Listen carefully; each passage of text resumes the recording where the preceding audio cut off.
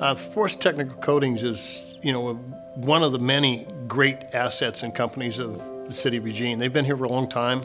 Uh, they're a small startup company that's grown big and grown internationally. And uh, what really like about them is not only the products, but the way they give back to the community. They, uh, they walk the talk. At St. Vincent de Paul, we've had this long-standing relationship with the Forrest family um, between our housing development and uh, affordable housing activities, as well as some of our veteran services and just um, community engagement and volunteer engagement. The whole family has been very involved. Emerald Village is uh, designed to be permanent affordable housing for people with very low income. We have 22 units here between 160 to 300 square feet. We had over 200 local contractors and designers contribute to this project, uh, one of which was Forrest Technical Coatings, which provided some of the paint for the exterior of the homes. And while they were out here, they also noticed one of our other projects that we were working on, uh, a 100 foot long mural that was covered in graffiti. So they also, at that time, offered to provide the primer and to paint that wall, cover up the graffiti, and allow a local neighborhood artist to come in and paint a beautiful mural. I've had the honor of working with Forrest on the 20 by 21 huge mural project, and they have provided the passion and technical expertise to protect the newest artworks in our community.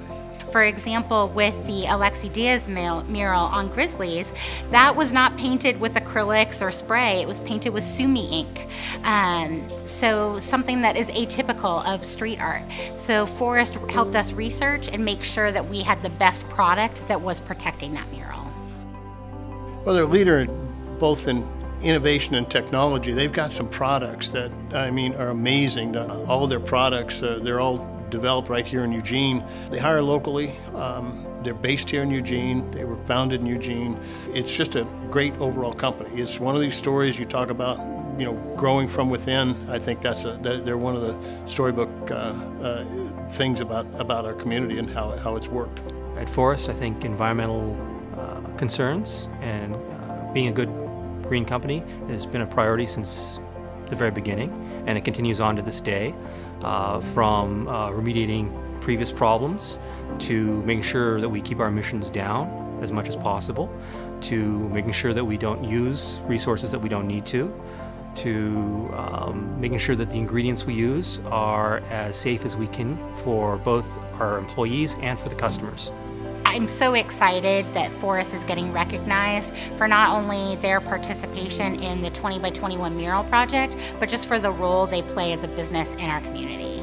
We know how much we appreciate um, everything that they do for us, and we see that they're doing other things in the community, and um, it's always nice to see them get that recognition back for for all that they're giving to the community.